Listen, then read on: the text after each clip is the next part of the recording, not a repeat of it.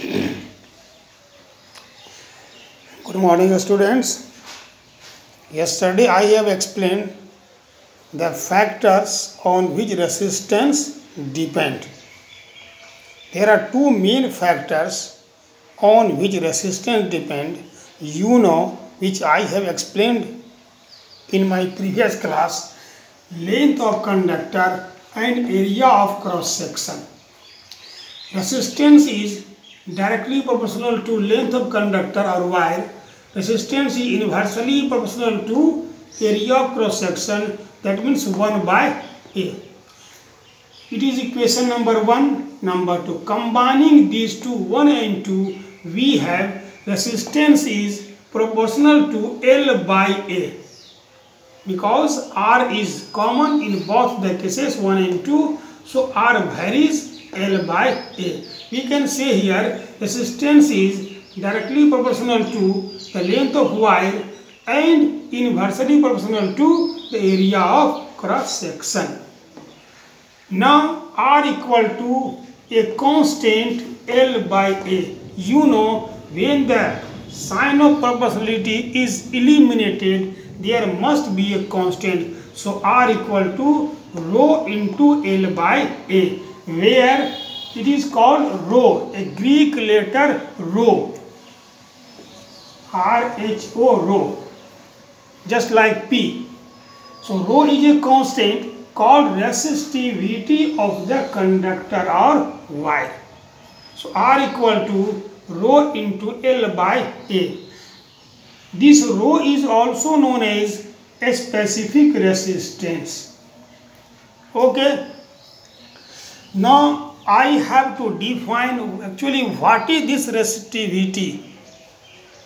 So if we take L equal to 1 unit means 1 meter length. If the length of wire or conductor is 1 meter and its thickness that area of cross section is 1 square meter which is 1 unit in such condition R equal to rho into 1 by 1. So R equal to rho.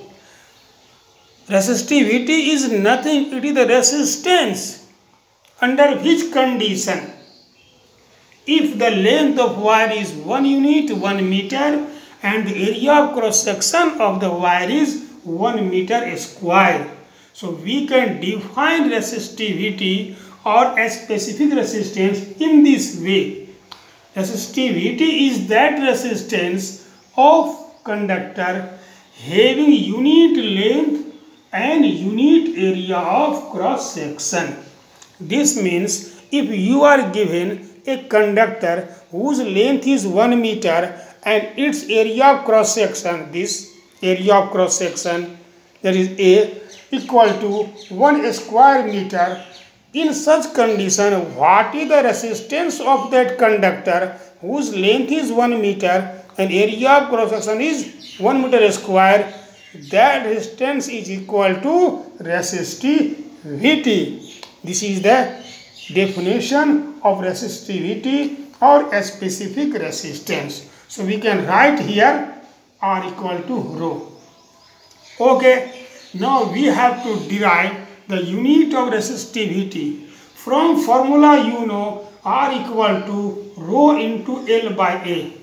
By cross multiplication we have rho equal to R into A by L. Now how to derive the unit of resistivity? You know from your class 9 or starting point, unit of resistance, you know ohm and unit of area that is square meter, meter square, meter into meter by unit of length that is meter. So 1 meter, 1 meter cancel. What is the remaining part?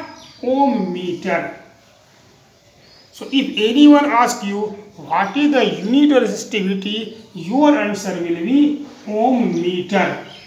This is denoted by symbolically form omega m. Omega that is ohm m for meter. So this is the derivation of unit of resistivity. On the basis of this formula, you can solve lot of numerical problem. Out of these four quantity, any three quantities are given and you have to solve.